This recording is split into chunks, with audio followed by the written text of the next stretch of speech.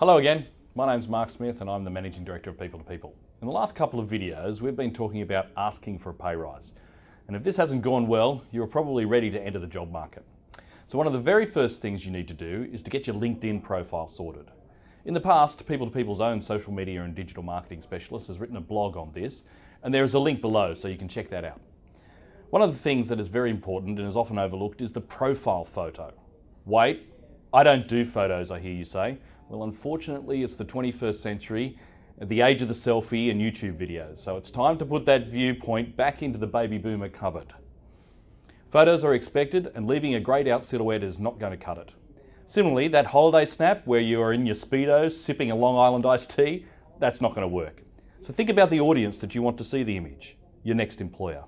Finally, take time to check LinkedIn's guidelines for the photos so it works on, on the actual page. So what about Facebook? Well, that's a big topic, something we can talk about next time.